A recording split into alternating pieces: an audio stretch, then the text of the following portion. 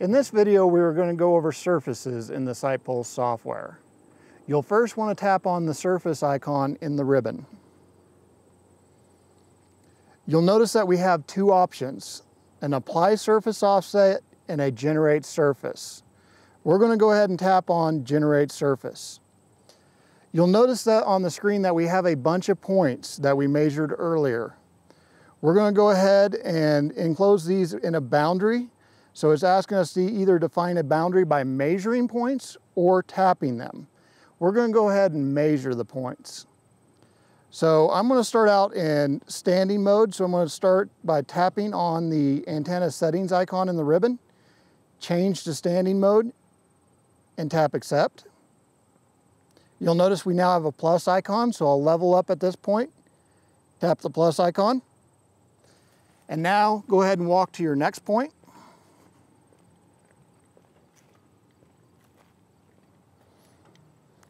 Go ahead and level up, tap the plus icon, walk to the next point, and from here we'll switch to walking mode. So tap on the antenna settings icon in the ribbon, tap on change to walking mode, then tap accept. You'll notice we now have a play button in the lower right hand corner. Go ahead and tap on the play button to measure your point there. You'll notice that the boundary is now closed back to the first point. We're going to go ahead and walk right down this wall.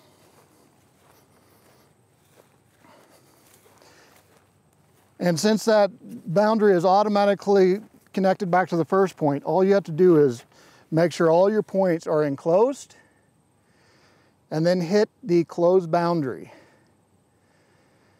Now you're in the generate surface pop-up. You have a few options here. The first is you could add this to a new design.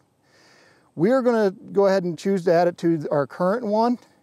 A few reasons why you'd add it to a new design is if you were going to track a surface as it was going down and you didn't want to clutter up your current design, you could do that. So we're going to go ahead and tap on the options and select add to current. And then we can give this surface a name. And we're just going to call it a training surface. And tap done on the keyboard and then tap accept. So now that surface has been generated. So to bring that surface up, you can tap on the gear icon, go into site, and now you'll see that training surface at the bottom, so you can tap on that to make it your current surface and tap accept.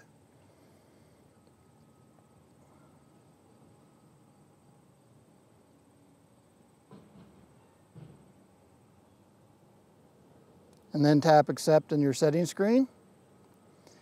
Now you currently have that surface as your actual surface. So if I were to walk over it, you'll see that I instantly get cut fill updates. So the next step is say you wanted to offset this surface down. So you wanted to dig down, let's say a foot. You could actually tap on the surfaces icon in the ribbon and this time tap on apply surface offset. So our current surface is training surface. We're going to do an offset of, let's say one foot. And then we're going to check the direction and change it to below. Then I'm going to tap done on the keyboard and accept in the surface offset.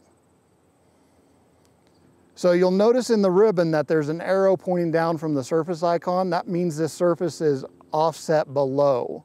It's just a quick indication to show you that your surface has been offset. So now you can see that we have a cut fill reading showing that we need to go down in these different areas out here. To quickly change surfaces, if you go ahead and tap on the surface icon, apply surface offset, you could select a different surface in the surface menu and then just hit accept. That would be another way to quickly change surfaces rather than going into the gear icon. In the next video, we'll go over the cut fill feature. For more training, please visit learn.trimble.com and set up your free account.